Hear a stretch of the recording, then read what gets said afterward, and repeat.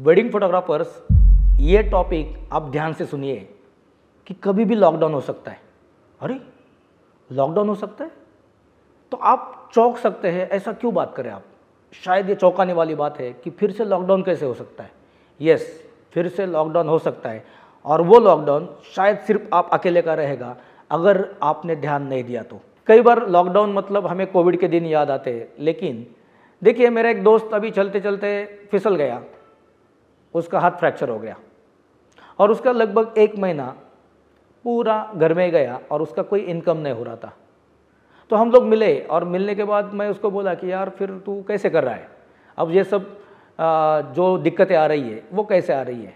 उसने मुझे बहुत अच्छा बोला, ठीक है यार, ये तो आता ही रहेगा लाइफ है। एक्सीडेंट कभी भी हो सकता है, कभी भी हाथ पैर टूट सकता है। लेकिन लेकिन वो पहले से प्रिपेयर था क्योंकि उसके पास अच्छा बैलेंस था उसने अपना जो बिज़नेस है, उसका अच्छा प्लानिंग करके रखा था।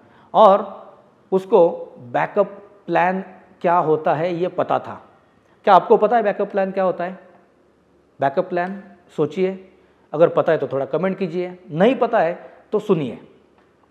बैकअप प्लान वो होता है, जब हमारा लॉकडाउन हो जाए, जब हमारे पास दिक्कतें आए, जब एक्सीडेंट के साथ हम लोग गुजर रहे हैं और अकेले घर में है, कोई इनकम नहीं है तो आप हर असाइनमेंट में से कुछ परसेंटेज बैकअप प्लान के लिए पैसा रखना चाहिए, क्योंकि हादसा आपको बोल के नहीं आएगा।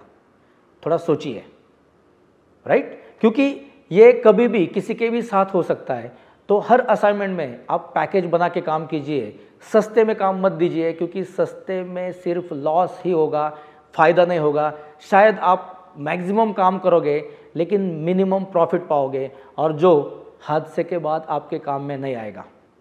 दोस्तों, बहुत सेंसिटिव टॉपिक है, लेकिन बोलना ज़रूरी है, क्योंकि नहीं बोलेंगे तो कब तक सहेंगे?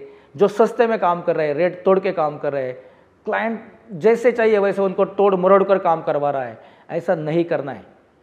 कुछ तो हमें सिस्टम वाइज काम करना होगा बिज़नेस को समझना होगा, क्योंकि अगर हमारा अदर इनकम नहीं है तो हम वेडिंग फोटोग्राफर्स को जागना होगा।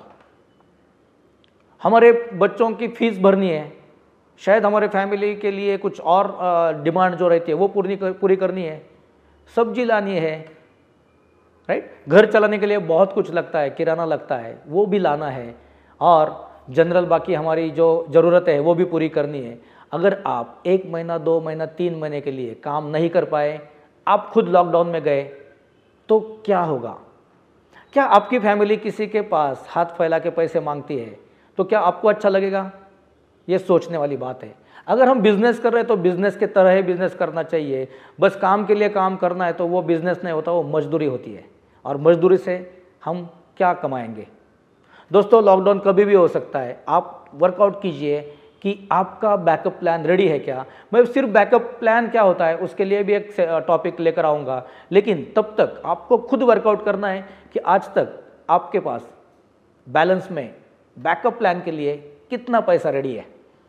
अगर आपके कैमरे को कुछ हो जाए तो नया कैमरा लेना पड़े तो आपके पास अभी तुरंत कितना पैसा रेडी है? दोस्तों, पैसे के बिना कुछ नहीं चलता।